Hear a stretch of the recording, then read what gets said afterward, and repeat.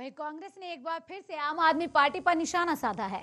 कांग्रेस ने दिल्ली के सीएम से सवाल पूछा कि उत्तराखंड के युवाओं के रोज़गार के लिए आम आदमी पार्टी का प्लान क्या है? सवाल ये है कि अरविंद को इस बात का जवाब देना चाहिए कि उत्तराखंड की प्रॉब्लम क्या है। ये समझना बहुत ज़रूरी है। या डिप्टी सीएम वहाँ होके आए हैं, जिस तरह से बिजली का वादा कर रहे हैं तो मैं ये पूछना चाहता हूँ मनीष सिसोदिया से भी और केजरीवाल या आम आदमी पार्टी से कि उत्तराखंड के मुद्दे क्या हैं, ये समझना बहुत आवश्यक है।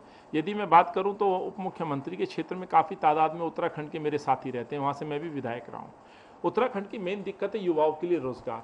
और आप थोड़ा सा इतिहास में जाएँगे तो उत्तराखंड आज जो दिल्ली के अंदर निवास करता है उत्तराखंड वासी काफ़ी तादाद में चाहे बुराड़ी हो, विनोद नगर ईस्ट, वेस्ट, करावल नगर हो, द्वारका हो, या फिर आपके आर के पुरम हो या नई दिल्ली हो। यहाँ जो लोग प्रवासी उत्तराखंड से आए, वो रोज़गार की तलाश में है। तो उत्तराखंड का जो मुद्दा है, वो बेरोजगारी है। उत्तराखंड के लिए मुद्दा बिजली नहीं है। सबसे बड़ा मुद्दा है वहाँ पे बेरोजगारी। तो अरविंद जाकर के क्यों नहीं बताते कि उत्तराखंड के युवाओं के लिए मैं रोज़गार जनरेट करूँगा? मालूम है क्यों नहीं करते हैं?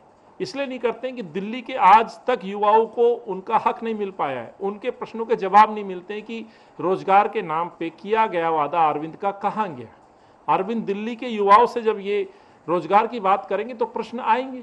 तो उत्तराखंड के लोगों के बीच में जाके अरविंद बोले ना कि दिल्ली के उत्तराखंड में मैंने इतने लोगों को रोज़गार दिया है। उत्तराखंड के जो प्रवासी यहाँ रहते हैं, कितने युवाओं को रोज़गार मिला है जिससे जाकर के वोट मांगने के लिए वहाँ उम्मीद रख रहे हैं?